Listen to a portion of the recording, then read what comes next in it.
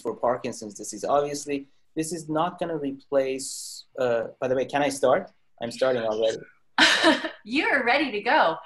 I I'm think go. usually we start maybe like in three or four minutes because there are some people who, uh, you know, with any group, there's early birds and then there's uh, um, just by the the skin of their teeth late a little bit late birds late joiners.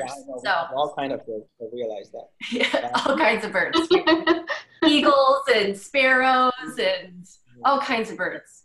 But i, I, I like can start yeah. by um, uh, maybe introducing and um, kind of get things going while we wait for maybe some stragglers to join in. So I will have, uh, so other than, um, other than you, Dr. Pedouim, I've placed everyone in auto mute so that during this opening portion, you know, we're, we do not have people cutting in and interrupting you. Um, and then when we get to the live Q&A portion, we will um, um, take questions from the audience. And there's a couple ways people can chime in with questions. They can either type it in the chat um, and you can either type it to the entire group or if it's something private, you can just do a private chat with either me or the, the PMD Alliance account. Um, and then uh, Dr. Pedouim, I'll kind of be your, um, you know, your, uh, your traffic cop to pick questions and, and make sure that we, um, you know, we, we stay moving. And we know that, you know, you can't, you know, without uh, an exam and, you know, these people aren't your patients, but any kind of, you know, like broad overview answer or however you want to, um, you know, frame your answer, people, just so everyone understands, obviously. Um, there's only so much uh, detail that you know you can get into when you're answering someone's question uh, in an online meeting like this. Um, and then let's see, I think that would be it when it comes to the housekeeping items and you know rules of the road. So I'll start by introducing. Um, this is Lunch with Docs for May 2019. Um, my name is Andrea Merriam. I'm with PMD Alliance, and we are the group that facilitates and organizes these online programs. Um, we're dedicated to bringing the world, um, you know, quality information about movement disorders straight from the uh, the experts. And today, the expert that we have with us is Dr. Farzin Pedouim. Um, so he is based in Southern California at Loma Linda University. And um, I will let you add any additional, you know, credentials or important intros that you want to add to that, Dr. Pedouim. But um, yeah, but I'll, I'll just turn it over to you and, and you have your slides up here. And maybe um, when it's uh, do you want me to signal you when we kind of get to the, the time, give you like maybe like a five minutes when we get to the time for questions or you, you're all set? That's fine. How long do you want me to make the talk?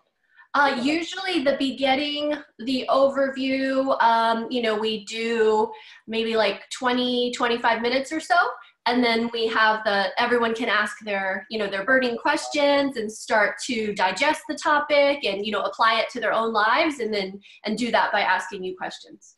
Sure. No that's fine.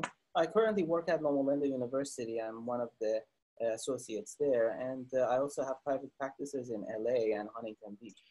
Uh, so um, i do run a few trials over there with my colleague dr fry and dr dashtipour in parkinson's the talk I'm going to give today is pretty much on non-medical therapies on Parkinson's disease, particularly music and Parkinson's disease, which kind of um, piqued my interest uh, when I was in college and later on in medical school, which actually motivated me to enter this. I was originally a concert piano player. I have a lot of background in music, and I always wanted to combine music and medicine. So that's why I ended up um, uh, kind of picking neurology and picking Parkinson's disease eventually despite a few bumps on the road. And I never regretted it because there's always something interesting about the brain and music to be found or read about or discovered. I will highlight some of the points that uh, I think are fun and most, in, most importantly, kind of uh, significant in Parkinson's disease that will help you guys with motor abilities without increasing medication. And in some patients, these work, in some other people, doesn't work. But I will mention this throughout the talk. This is one of those things that, regardless of um, regardless of whether it works or not, in incorporating music in your life is always a positive, pleasurable thing. Uh, so you can try it and see if it helps your mobility. If not, then hey, it's at least you enjoyed a few few musical pieces which uh, brought you some pleasure. Parkinson's disease, and we'll start from the basics, and I'll spend a couple minutes on this. Parkinson's disease is associated with loss of dopaminergic cells in the uh, basal ganglia. Okay, the basal ganglia is this inner part. With my mouse, I find it's this inner, deeper part of the brain that includes these green-blue nuclei. These are areas of significance which we call nucleus. Nucleus is basically a bunch of cells together. So um, this is usually a dysfunction in this area. And the Parkinson's disease is usually associated with depletion of dopamine-producing cells, and this depletion causes problems at many levels, the most obvious one that haunts patients is the tremor and the motor dysfunction. So motor, tremor, slowness, stiffness. You don't have to have tremor to have Parkinson's, by the way. You can be stiff and slow. So motor impairments are the pre predominant ones. And then you also have mainly gait and posture instability, as well as some cognitive psychiatric uh, problems, um, as well as speech.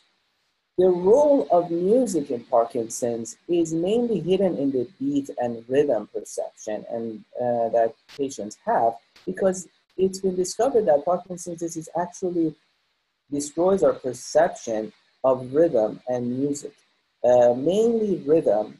And this is uh, very important in our perception of speech as well as movement because everything in life, including our hearts, our lungs, our breath, our movement has an innate rhythm in it.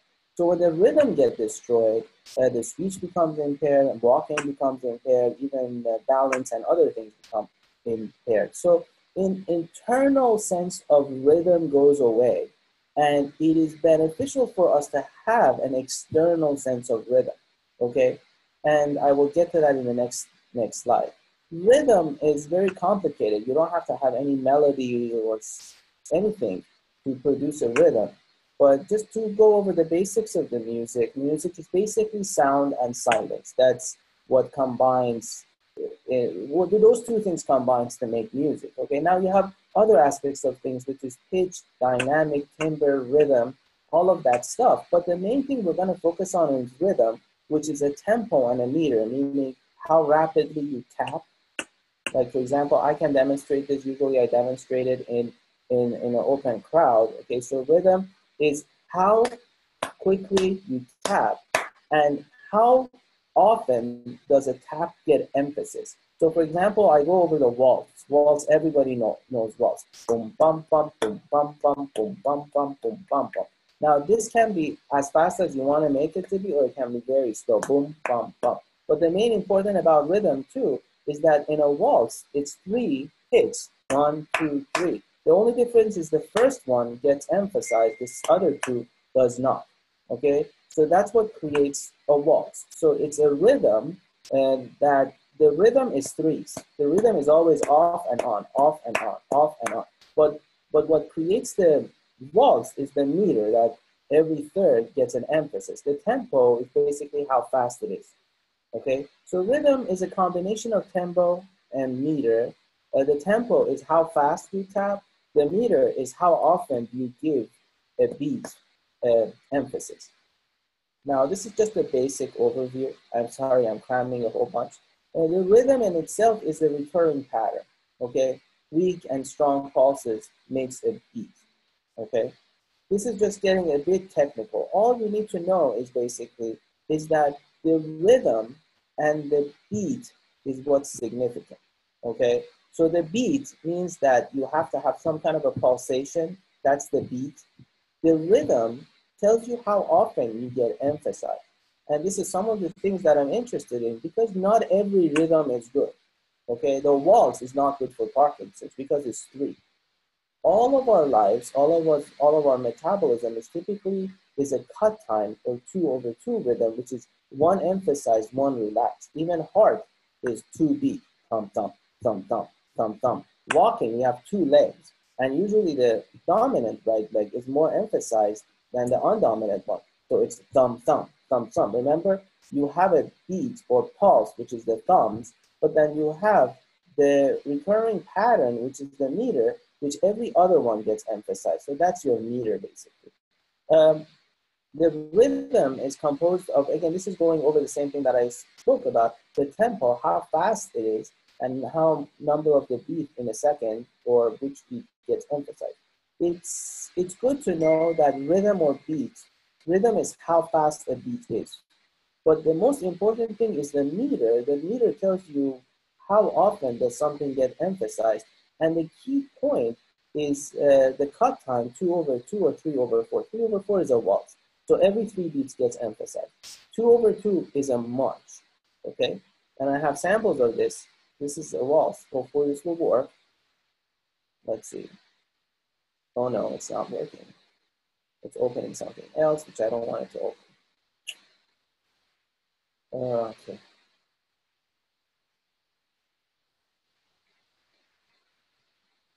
Let me see.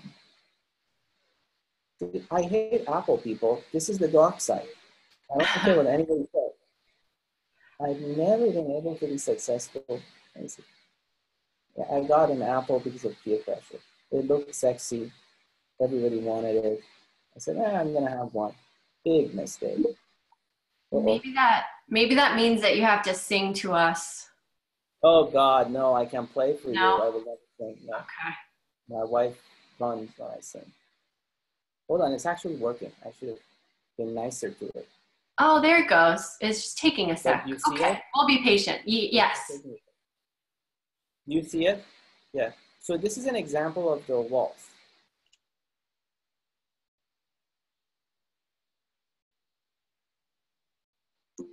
If you live in the Riverside Not this, area this is the advertisement. and you are tired of settling with your career, See? One, two, three, one, two, three, one, two, three, one, two, three, one, two, three, one, two, three, one, two, three.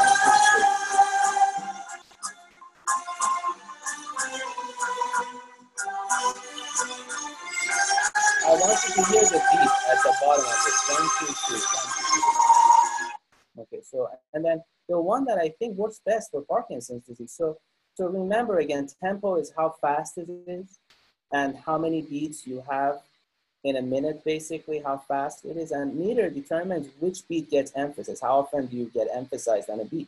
So basically, this waltz is every three beat it gets emphasized. Tum tum tum tum tum tum tum tum tum tum tum tum. But this one, two two, what's this? This is, I'm sure you guys are, all have heard this. In the class, everybody gets excited and answers these better than even I know. I attempted to learn waltz once.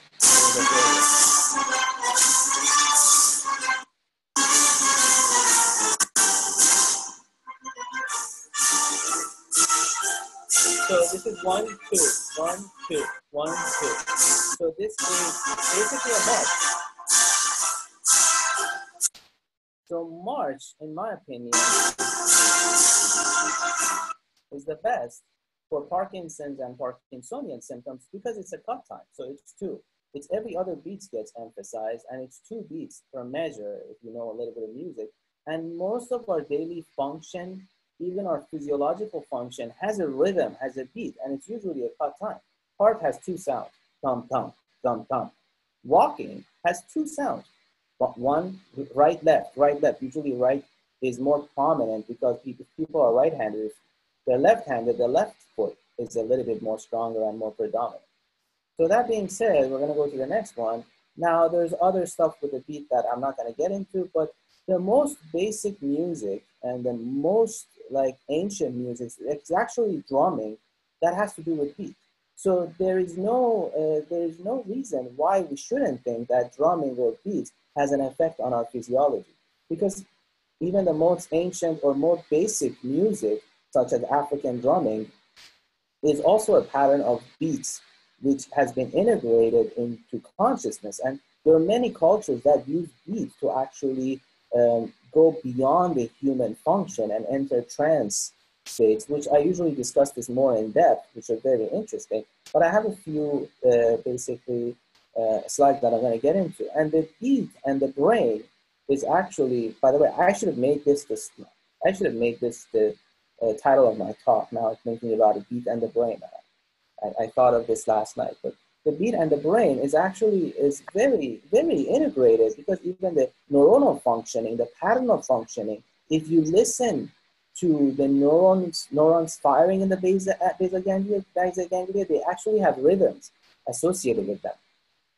So this is very commonly seen and it's heard actually in the OR when we implant DBS. So um, the benefits of all of this stuff is uh, basically in basal ganglia disorders such as Parkinson's disease, which there is reduced perception in time. Are you guys still here with me? Hello? We're still here with you. You're still here with me? Okay, sorry, I lost you guys on the screen, that's why. So um, in the basal ganglia, that has to do with all time perceptions, okay? And there is reduced in time perception. There is no wonder why this whole emphasizing beat and listening to patterns of music and exercising with music makes an makes an impact because in when the basal ganglia gets bad in Parkinson's patients, there is reduced in time perception. There is difficulty learning motor tasks, especially timing tasks. They actually did the study timing study in UCLA when I was doing some research over there that showed that Parkinson's patients have a delay in, in understanding and internalizing external rhythms and beats. Okay, so it also there's a dysfunction in the way they speak, not necessarily because they can't speak, but the rhythms are off. Because basal ganglia integrates and coordinates and like smooth out all the functions of basically the rhythm in the body. And the gait also, the walking is also off, not only because of gait dysfunctions, but also because the rhythm of the walking is off. So there is no question that exercise, especially exercise with, with music, is going to be very beneficial. And you already know all the medications, some of the dopamine agonists, the Mirapex, carbidopa, these are all the physical medical stuff, but music, I think, because of it presenting an external source that the body and the brain has to match in order to reinforce the beat and the rhythm that's lost plays a big role. Okay. Now, music therapy is like very much like a student learning a piece of music. It has to do with listening and repeating. Okay. And this listening and repeating actually creates not only plasticity in the basal ganglia, meaning more nerve cells to be generated, and more connection between nerve cells, but also it's, uh, it enhances the rhythm that is lost, which we don't know exactly how the rhythm is produced in the basal ganglia, but they call the basal ganglia the metronome of the brain because it produces and keeps rhythms in a lot of the daily function. So you listen to the rhythm on the outside, then try to do it. It's kind of like the big therapy or the physical therapy that everybody does. You get better eventually, just like a musician who practices a piece for a long time they improve eventually. So the main form of this is called rhythm auditory cueing. So you hear something and you do it. There is also musically cued gait training, okay? And then there are other forms of finger exercises, which I'm not going to get into, that rhythm fine movement training with, with music, which actually was very exciting during the 80s and the 90s. There was this professor who was doing it. And if you ever come to a live talk, I'll go over it. And then the music therapy also helps with reaction time because patients with Parkinson's disease, they're delayed in reacting to stimuli on the outside and they cannot keep the same pace as external tasks. Like for example, if somebody walks next to you, not only they have problems with stiffness, but also they can't match the rhythm of the person walking next to them because their rhythm perception is off. So by walking and doing physical therapy with music, pretty much you get more benefit.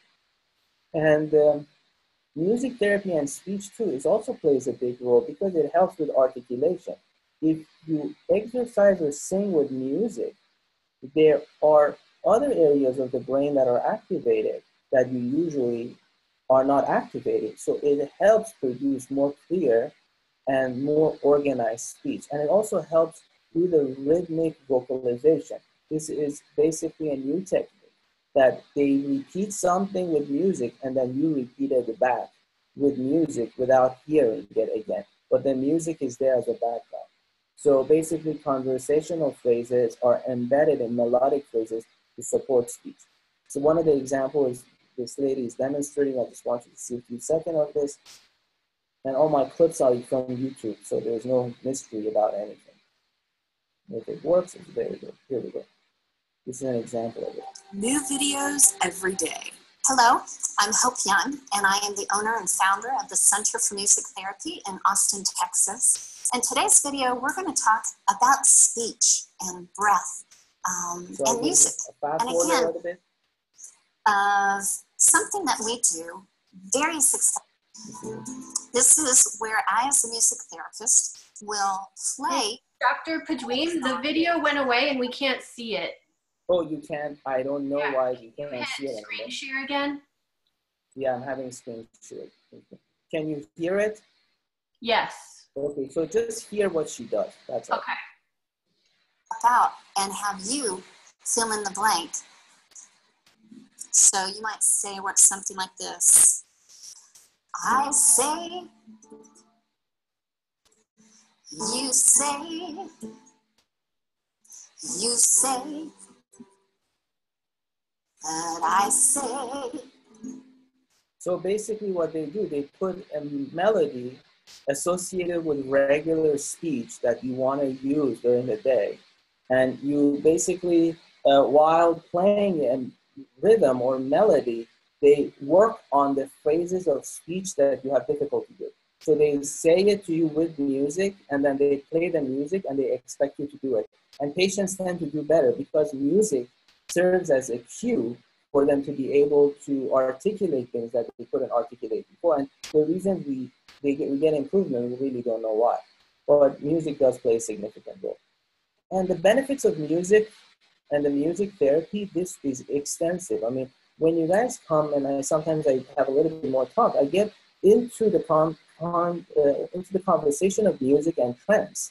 And music and trance in Sufis is some really amazing things. I mean, I studied this at uh, UCLA for a while, and they do really amazing things. I, I've read some articles about it. They can totally control their physiological function. More importantly, um, their autonomic functions, which we technically or theoretically don't have any control over, such as bleeding. When you cut your hand, you're not going to say, "Oh, I'm not going to bleed." No, I can't bleed right now. No, no, I, there are no napkins around. I can't bleed. No, you're not going to do that. You're going to start bleeding, and you have to run to the bathroom or find napkins. These Sufis and mystics, which are sometimes in northern part of Iran um, and the Middle East, um, they've done some really interesting stuff. I don't have the videos. The video belongs to one of my friends who was studying ethno with me at UCLA. Unfortunately, I have to go to the library and see if I can get permission to use that video.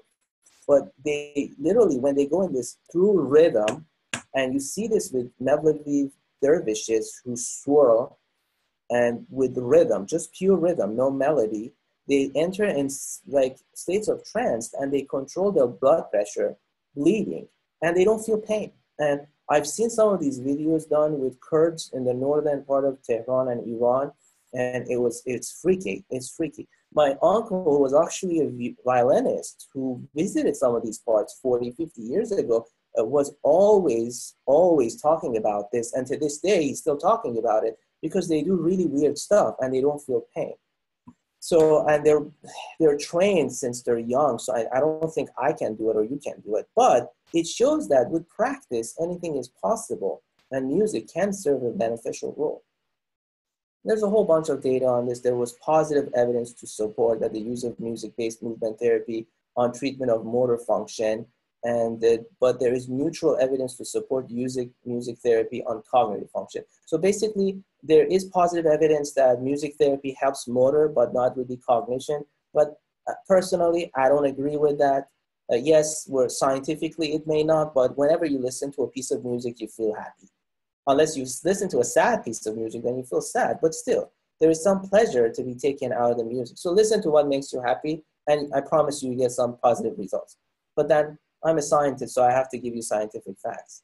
And there are some evidence of the music for treatment of cognitive function, and this is evidence in some people with dementia because some people with dementia can't follow, can't sing, can't do anything. But the second you start singing old tunes to them, they start singing it from heart because they were tunes that they were raised with. Okay, and sometimes in some stroke patients, actually, through music and rhythm, listening to music, they can sing and they can move, but they wouldn't be able to move otherwise. So, music and the way music is kind of intertwined in our brain and integrated in our brain is still a mystery, and there's a lot more to be discovered. Um, but it's very exciting stuff. So, just to summarize, there's expected results with this. You improve communication skills if you integrate music and speech therapy. You increase confidence in communication. You enhance expression. You improve muscle control and nerve control. If you do exercise with music, especially heavy rhythm that kind of reinforces your movements one two as you walk because not only you have internal sense of stimuli that i need to move you also have an external one that allows you to move. And there are actually devices that get attached to your thigh or you wear them and they vibrate when you freeze. They notice you. When you freeze they start vibrating in a rhythm and they break the freezing and a lot of the times i tell my parkinson's patients start tapping your chest when you freeze and then you can start walking. So there's a whole bunch of stuff I'm interested in, but thanks to the little chipmunks I have at home and wife and kids, um, it's, I've been slow in pursuing some of these research stuff, but there's interesting stuff in Parkinson's and rhythm therapy and all that stuff. But I encourage you guys to always seek musical therapists and uh, Parkinson's therapists and the speech therapists who incorporate music in your physical therapy and routine because I guarantee you, you're going to feel better and you're going to get more improvement if you do the same exercises without music. Okay, and if you're around from here, this is my Loma address. I work at Long Beach and I have private practice. I'm in Newport Beach. If anytime you want to have any questions, that's my contact information on top. And I guess we now can open to questions. Again, did I mention I don't like Apple computers or Mac? um, what maybe once. maybe once, yeah. But we uh, okay, so now we can see you, and see okay, so hold on. Oops. Now we can see you, and oh, go. yeah. Um, close this, and oh, here we go. We all can see each other now. Yes. If anybody has questions, I will gladly answer questions. Okay, so um, Laura in Florida, I believe, said that she has a video of the whirling Sufi dervishes, dervishes that she took in Istanbul, um, and she's offering to share. Oh my God, please send that to me. Because I, uh, my uncle lost the footage from 40, 50 years ago. The footage I had was from 20, 30 years ago, was taken by my colleague who was very protective of it. Ah, if you are willing to give me a copy, oh my God, you would bless me very much. How, can, can I give her my email? Uh, yeah. Let me give her my email. F as in Frank, A as in Apple, R as in Robert, Z as in Zebra, 3000 at gmail.com. That's my personal email. You guys are more than welcome to email me anything. Okay. So we can share that with. Yeah, uh, please do. Yeah, please do. Yeah. Laura. yeah. I, I want to see that. Uh, I want to see that video too. Maybe as a follow up, we can. Yeah, um, I, I, didn't go into the depth of that, but uh, some of these pictures is difficult to be viewed. Um, but let me do a screen share. Um, oops, I can't do a screen share anymore. Hold on a second. What happened? Oh, exit full screen. Let me see if I can show you something that I wanted to show you.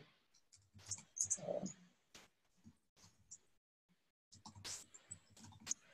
And right so now, in this case, in this case, if you look at this girl, oh, we can't in, we can't see your screen right now. Can't see the screen anymore. So no. during during the Sufi uh, mystic trance state, she's actually punctured her tongue with a sharp, long pin. It's not bleeding, and she's totally okay with it. I I shave and I just a couple couples cuts and my face bleeds for hours. Not only that, I'm crying like a baby. So I mean, these are like real stuff, and uh, this is not. See, you, you look at their faces. Sometimes people pretend they're not in pain. You see them kind of trying to hold it up, but this lady was totally, totally that. Oh, hey, we have someone else here. How are you? Hey. Hi there. I think that was uh, that was an accident. Unless, did you want to ask a question? No, anyone? Okay, it was an accident, but it was nice to see your face. Um, we have another question about so the device that you mentioned that when you freeze, um, it starts to vibrate. Do you do you have the someone wants to know the name and where they can purchase it? So this was this was a research and a device used in a Korean study. It's okay. not something that's available in the US yet, okay? But there are a couple companies that are working on it. If you Google it, you might be able to find somebody that uses it. But you don't have to go that far. If you have an iPhone, you can download a metronome app, okay? And the metronome app, some apps have vibration components to it, okay? Or if you wear an Apple iWatch or something like that, you can create different apps. There are different apps that are metronome apps that can beat. But sometimes, um, sometimes, yeah, the problem is that it's not gonna know when you freeze. It's gonna just beeping all the time. So what you can do when you freeze, usually your leg freezes, your arm doesn't freeze. So you can start tapping yourself on a chest or tapping yourself on the leg, and uh, this will enable you to walk. This is a cheaper version of the device, but you yourself tapping yourself.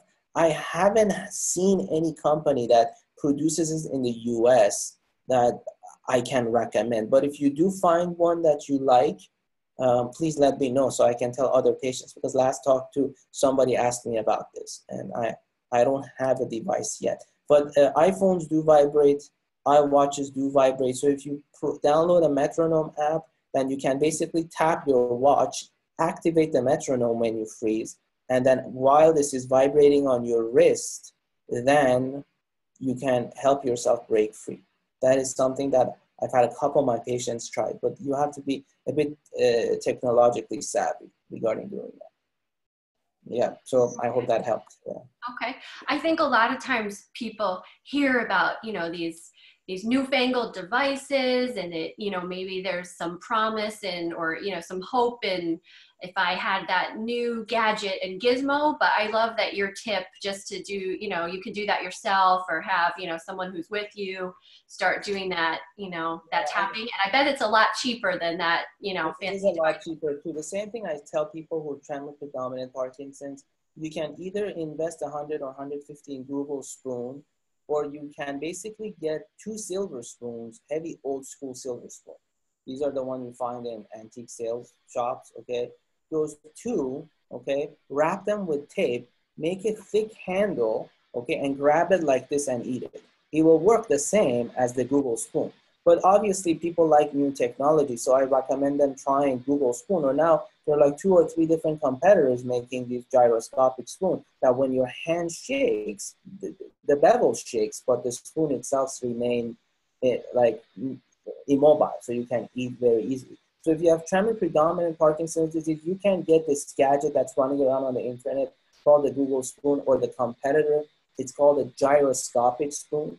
Or you can take a silver spoon, use duct tape, make a huge handle, and grab it like this, and you will have the same benefit or efficacy and reduces your tremor when you're eating, in case that's something bothers.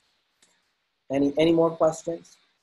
and then you can use that hundred dollars to go buy a uh, you know a concert ticket or something and enjoy. Yeah, exactly. I love it. I love it. Next time I'm going to use that. Okay. Uh, someone had a question that there's a lot of news stories about music and learning a musical instrument and playing a musical instrument delaying the onset of dementia and Alzheimer's. Is that true for Parkinson's related dementia as well? So Parkinson's related dementia is a different form of dementia. It's Lewy body. It has to do with the same aggregates that are causing Parkinson's disease. People who develop dementia usually have these aggregates in different part of the brain and at, at a different concentration, but that's again controversial. What I want to tell you is that we don't have specific data yet. We don't have great results yet, but yes, it will help. Why? I'll tell you something especially if you have to use your finger, you already have, if you have Parkinson's disease, you know you will have problem with fine finger movement. So picking up instruments like guitar or piano, which you have to force yourself to do fine finger movement, is gonna create more synaptic neuron plasticity, meaning you're gonna force the neurons that are left to function more, so hence they're gonna create more contacts and more uh, like relations with each other. So it strengthens abilities and motor function. If you want the common sense answer, yes, because as musicians too, there have been some studies that show musicians that make better surgeons because they have better fine motor skills. Um, but um, there's nothing specific on Parkinson's and picking up an instrument. But again, when you when you use something, you create more neurons, you create more connections among neurons. So the reasonable answer is yes. So actually I recommend to all my patients to pick up an instrument, either a guitar or a piano. I like piano because it's less complicated and if you tremble, it's not gonna be very difficult. Uh, but if you don't have too much tremor, even if you enjoy guitar, I recommend picking up a guitar because you're using both of your hands. The strumming and the fingering is best, is best. You can pick any instrument you like. Harp is good too, don't get me wrong. Uh, but some instruments use only one, like woodwinds usually typically use one hand unless it's like a clarinet. And tuba is not that complicated. So I recommend something a little bit more complicated, like a piano. Violin is a horrible idea because it's, it's a very difficult instrument. I had struggled with it, okay? And the bowing, if you're a tremor, it's not gonna serve any purpose. You want fine finger movement. So yes, yes, do it. Okay. Fantastic. So a couple people chimed in. Michael in Tucson says he does taiko drumming. I don't know what that is. I think that's the Japanese drumming with the big sticks. I'm not that familiar. Oh, big sticks. Go ahead, go ahead. Oh, and then Shelly says accordion. Oh, accordion is good too. I, I, I played around with accordion. Then I realized I'm getting too nerdy, so I stopped it. I said that's one instrument I can't do because then I'll get too nerdy. It's not good enough. So, but yeah, I've, I've kind of played most of these instruments. Um, accordion is good too, excellent, because you do the fingering and you're playing the keyboard at the same time. So you, you play the fingers and it's, it's, it's an excellent, I think it's an excellent idea too, because you're holding it and squeezing it instead of the piano. When you put your hand on the piano, if you have tremor, it's gonna get worse. But when you hold the accordion, you're actually no longer in a resting phase, you're in an action phase.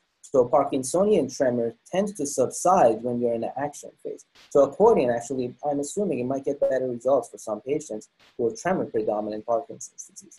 Uh, and the drumming is actually great because in the VA Long Beach, uh, there is a group or Afro-Cuban drummers, and a lot of my patients are doing the drumming.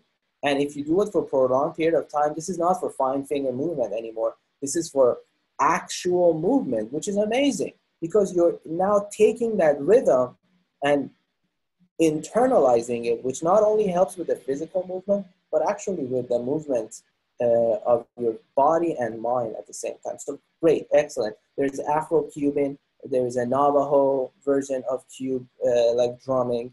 Uh, there are many variants. There are many variants. Any, any kind is fine. I like both hands to be used at the same time, if that's a possibility. Anything else? Yes. Um, so this is, what about karaoke? Totally different than, you know, I, I like it. I like it because most people, it's psychological too. Parkinson's doesn't affect only motor.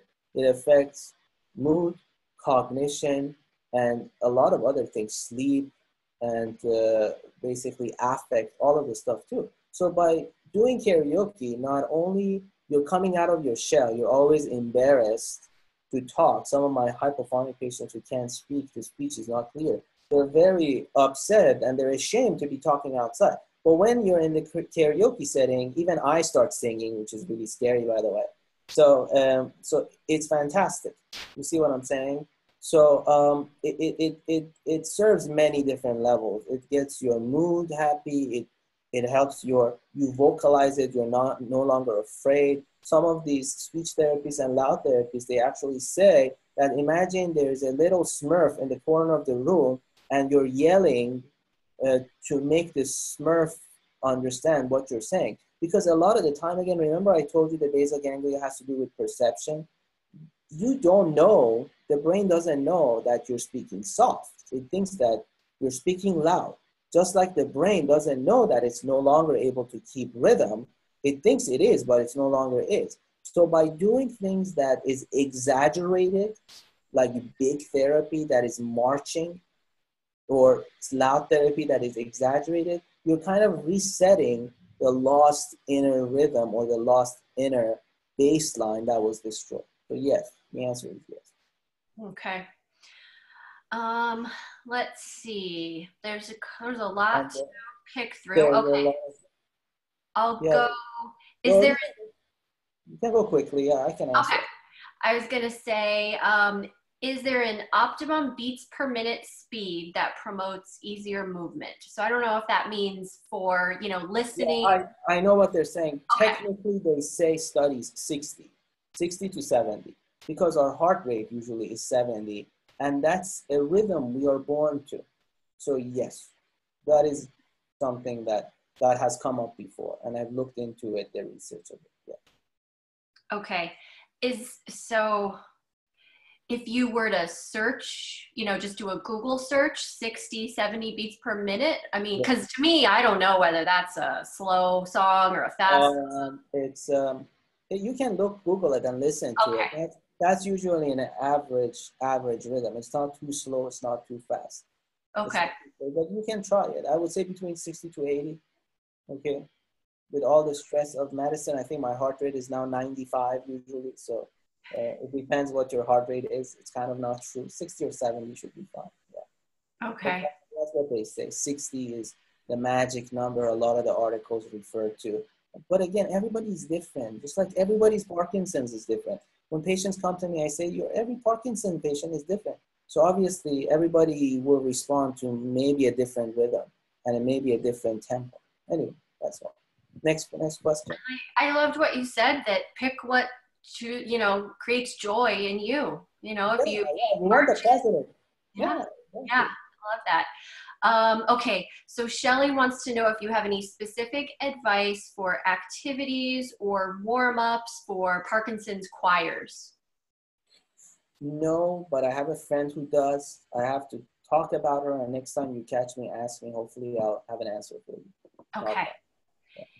And let's see. Okay, so Angela said that she loves African marimba and yeah. she, there's classes all over the Pacific Northwest, Boulder, Santa Fe, all lovely places to visit. Maybe a marimba, you know, tour is in my yeah. future. It sounds lovely. Um, let's see. Desai says he sings regularly at the senior club. Way to go. And okay, so here's another one from Laura. She's thinking of using cymbals to show her doctor how she's managing short staccato movements by audio. You know how when they ask you to tap your thumb and yeah, a lot of my couple of my patients bought the finger cymbals, the belly dancing cymbals. They're yeah. actually very good because you hear it as you tap it so it reinforces it. Yes, I recommend it. Some couple of my patients after they heard this, they they got the cymbals and they really loved it. So yes, I like it. I like it. Okay, good idea. You have to do some online shopping for uh, belly dancing cymbals, little ones. I was picturing those big ones like you had with the penguin and the polar bear, but the little ones. Oh yeah, the penguin and the polar bear. Yeah, those are good, but I don't think how many of those uh, like cymbals you can handle hearing after a while. I can't handle too many. But the little tiny cymbals I think are better and you can exercise your fingers. I have some I have some videos on finger exercises, which are I will show maybe at another time. They're beneficial. Uh, and then you can go like this and do this, tap, tap, tap, tap. And this one also, you have to do it with the rhythm and with music, which is fun. Anyway. Okay. And for you as a physician, can you benefit from here instead of visually seeing the fingers move? Does it help you to have that auditory measure of the symptoms? Of course, of course. The auditory measure is is beneficial for all of us. Okay. When my kids stress me out, I listen to music. So obviously I get some pleasure and relief out of that. Okay. So yeah, obviously hearing it is better than just seeing it. So you're using many senses to do one task, and that's one of the way you can uh, form more solid, everlasting memory. So that's positive, yes. Yeah. Okay, very good. Um, someone, this is kind of a personal question. They were wondering when you, what age did you start studying the piano? And um, I guess they were just curious about your other side as a concert yeah, pianist. I started at five and I kept it until right before medical school. Um, so, but now I've been lazy.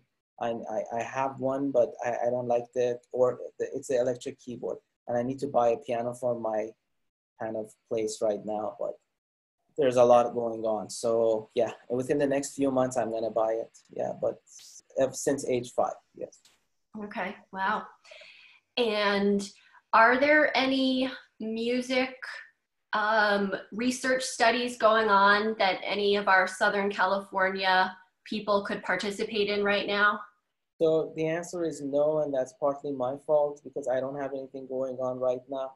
There were one or two studies. Uh, I don't think they're there anymore. Um, UCLA had this timing study a few years back, which I was part of. They don't have it anymore. It ended. Uh, the better answer is I'm not aware of right now. Okay, but once I go to the meetings this year, then I may be able to find out more. If there is something and you guys interested, please email me. I'll email some of my friends. But you have to understand the problem with music is it doesn't generate revenue. It's not like a drug. So it's very difficult to get funded for. You have to find a very nice guy who does it, uh, and uh, it's very difficult to get uh, funding for it. So it's become a little bit more scarce uh, in the 90s and 2000, there were quite a bit. At UC Irvine, where I trained, there was one of the attendings who was doing it too. But and UCLA too, in early 2000, there were two people who were conducting it. Right now, I'm not aware of any. But it doesn't mean it's not there. I need to look a little bit heavier into it too.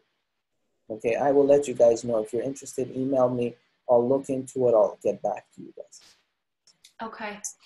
Um, John says that he had DBS about a year ago, and he thinks his perception is that it has affected his internal rhythm, and he wondered if you know anything about that, and if maybe that's just. Oh, it does. I hear that, and it also affects the speech, but there is nothing to do when that thing is on the magnetic force and the conduction it creates it's so strong. I think you get benefits from listening or doing stuff with music but that supersedes everything. It, it's not to discourage you john. I mean you try the music and see if you regain something but the second you turn that off your speech and everything becomes normal. So some people turn it off part of the day turn it back on. You can speak with your doctor. There's you have a gadget. You can turn it on and off as you please. Try that and see there are different settings they can try to. Okay, sometimes those settings are better. I don't know who is programming. Okay, but ask them, tell them your problems. They they will help you. They will help you. Okay, so discuss that with your doctor. It might be something that can be addressed in the the programming. Yeah, sometimes in the programming it can be. Yeah. Okay. Um, Steve Hurst says Dr. Pedouim is the best. Oh, I know Steve Hurst. Yes. I know, Steve. You have your your personal fan club. I know the fan club is out there. Good. It's, you know, I don't have a Facebook. I, right now, now I know why people get a high from Facebook. You have people reading you, paying attention to you. You're now popular all of a sudden. So yeah, so everybody is forcing me to open a Facebook. I, I have to open one. Yeah, so now I feel the joy that people feel yeah. So anyway, sorry, I took you on a tangent. What does he want? What is he asking? No, that was it. He oh, just that was it. Okay. Yes. Thank you, Steve. Yay. Thank you. uh, let's see. There looks like there's a lot of Tremble Clefs choir um, fans? I, I am referring all my patients in Newport Beach to the treble clef people, okay, and I have a bunch of their cards and I always pass them out. The problem is I I think they're in Laguna Niguel or Laguna Beach, and some people can't drive there. And I'm now moving to Huntington Beach, which has me scared. But I have I recommend Tremble Clefs to everyone. This is amazing, people. I recommend it. I recommend it. I recommend. It. There's nothing to lose. You have some fun and you exercise without because you're exercising with a group. You're singing with a group, so nobody's fixated on you. So you can speak loud. You can make mistakes. That's the best thing. That's the best thing. I recommend it. Anyone? Any other questions? Very good. Let's see. Um, someone wanted to know that they've heard that playing um, marching music, like the one that you played for us, yes. um, while taking a walk, is yes, good for the brain. Very helpful. Multiple research has shown that. Yes. Okay, and why why is that? So it has to do maybe because our body functions on a cut time, because our, our walking is one two one two, and marching is cut time dun, dun, dun, dun, dun, dun, dun, dun, dun, dun. So it has, I think it reinforces our innate rhythm that we're born with. Heart rate is two, your breathing is kind of two, big breath, short breath, big breath, short breath. Heart is bum, bum, bum, bum, bum, bum, and walking is one, two, one, two. So the inner rhythm of us, I think, is cut time, is two over two, yeah. Okay. So that's yeah. But the answer is obviously, uh, this is plausible this is what we think, but there's no direct or definite answer. Sorry, next question. Okay. Um, regarding your comment on how, since there's no money to be made from music research, um, this person says there's also no real money to be made from exercise research because uh, there's no product necessarily to sell. That's not true. That's not true. Because that's not true. That's not true. Because we as Parkinson's specialists pushed, uh, we're pushing insurance companies to give you guys not only 17 sessions of physical therapy, but actually more sessions. So finally last year, Medicare approved that Parkinson's patients can get continued physical therapy as long as they show improvement. So the research regarding exercise is different because there's physical therapists who are going to benefit from it, from the data that comes out and things like that. Music is not like a medication or like a service that is going to bring financial gain. So that's why that's why I was saying that sometimes it's very difficult to get supported. If you look at the NIH grant website, there's so many researches that are supported by NIH, but unfortunately the funding is low because nothing comes out of it that can be sold later to patients.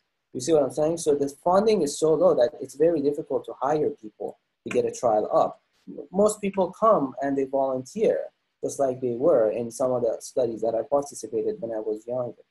Okay, that's what I meant. Not necessarily everything has to be financial. I'm just illustrated slightly the financial aspects of it. Okay, but there's still stuff is happening. it's Still, is quite a bit of stuff is happening. It's just that I don't know about it uh, around me, but there's other stuff happening, especially on the East Coast. I hope that answers his question. Yeah, I and I guess he was also leading to, you know, what can we do? And I think this might be beyond your purview as a movement disorder specialist, and it kind of goes to, I don't know, uh, lobbying our politicians and awareness, but um, how to get more money into Parkinson's research was the question. Yeah, it's it, it is. I don't know. I don't have the answer. But I will tell you sometimes necessarily more money doesn't mean the right thing. I think quality researchers are key because like a few years ago, ALS got a lot of funding, over $100 million because of the bucket challenge. But it has to do with, with the quality of the researchers. But I think Parkinson's is progressing much faster than a lot of other neurodegenerative diseases. So whatever they're doing so far, I think has gotten off pretty decent results. But yes, to answer your question is I don't know. I leave it up to people above me to determine that. But good researches are more valuable than money, I think. That's, I that's, love that. That's yeah. a great That's a great perspective, especially coming from someone in your shoes, you know, who's been um, in the research world and yeah. been a part of uh, clinical research. Thank you. Yeah. Yeah. Let's see. I want to make sure I get all the comments. So lots of people shared in the in the chat comments the particular choirs that they're a part of. Um, Stephen recommended um, harmonica. I, think you'd probably. I think I know your answer, Dr. Pedouim. You'd probably say if you like it, it's a good idea. If you like it, it's a great idea.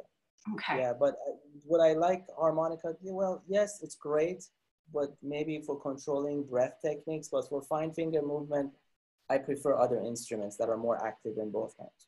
But yeah, do whatever you like. Yeah. So you have to get that that one like Eric Clapton where it connects, and then you yeah, also yeah, play the guitar. I'm also playing it. Yeah. Yeah, you you should do the harmonica at the same time you're playing the guitar or the piano. Then I will okay. love you. Yeah. You got that, Stephen. That sounds that sounds like a lot, but um, or the Mary Poppins movie, the original Mary Poppins, he comes out playing the drum with his foot and then playing the harmonica. That scene is always amazing. He's talented guy. Anyway, for tangent stuff. Yes. Next. Whenever next. you're dual tasking, multitasking, that's that's good for anyone's brain. Absolutely.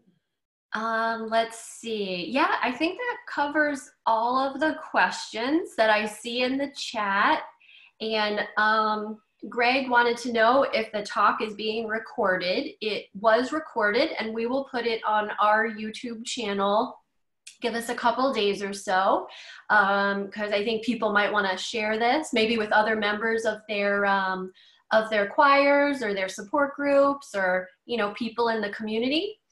Um, but I think that uh, wraps up.